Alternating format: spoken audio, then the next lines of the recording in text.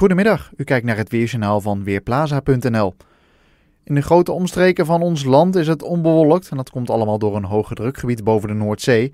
ergens anders in Europa zijn wel wolkenvelden aanwezig en daar ook wat buien, wat neerslag, met name in uh, het noordoosten van Europa, dus delen van Polen, maar met name ook de Baltische staten.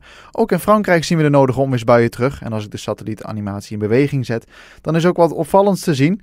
Want er zit een, uh, koude, een band met koude lucht wat uit een onweersbui stort boven midden-Frankrijk. Dat dan geleidelijk van die onweersbuien vandaan trekt. Die ligt ongeveer hier en die beweegt dan uiteindelijk van de buien af alle richtingen op. En dat is goed te zien wanneer ik de satellietbeeld in beweging zet. En dat is toch wel een behoorlijk mooi dingetje, zeker voor een meteoroloog. Die koude lucht die bereikt dan op een gegeven moment zelfs bijna de Belgisch-Franse grens. Maar daar loopt de bewolking die daarbij hoort stuk op de droge lucht die in onze omgeving aanwezig is. En die bewolking die droogt namelijk gewoon op, want zo droog is de lucht bij ons. En droge lucht, dat betekent een helder weer en dat houdt ook vanavond aan. Temperaturen die dalen naar zo'n 19 tot 24, lokaal 25 graden.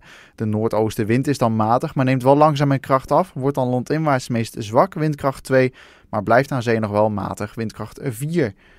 Vannacht dan verandert er eigenlijk weinig. De temperatuur die daalt naar zo'n 11 tot 14 graden. Ideale temperatuur om vannacht toch eventjes de ramen tegen elkaar open te zetten.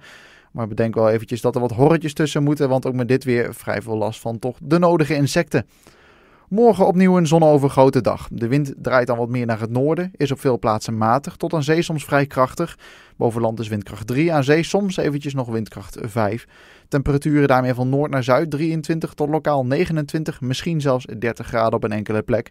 Het noorden kan wel gevoelig worden voor wat wolken vanaf zee later op de dag, maar dat is nog vrij onzeker. En als het zo is, dan heeft alleen het Waddengebied en het uiterste noorden van Groningen en Friesland ermee te maken.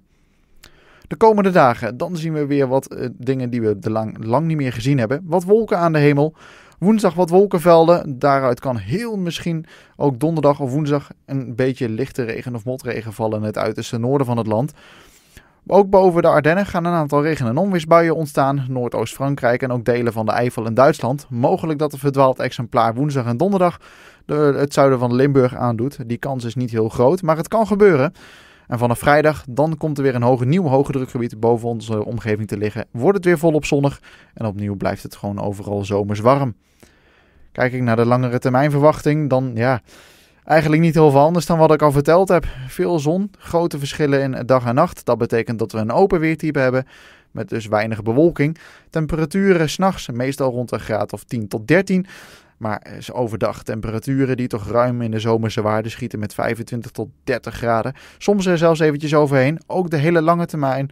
Weinig, weinig verandering eigenlijk. De onzekerheid wordt weliswaar wat groter. Met overdag een bandbreedte tussen de 21 en soms 35 graden. Kortom, nog een lange periode droog, veel zon en hoge temperaturen. Mijn naam is Wilfred Jansen voor Weerplaza.nl